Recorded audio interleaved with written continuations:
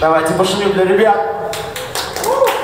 Итак, все вместе. Три, два, один, два.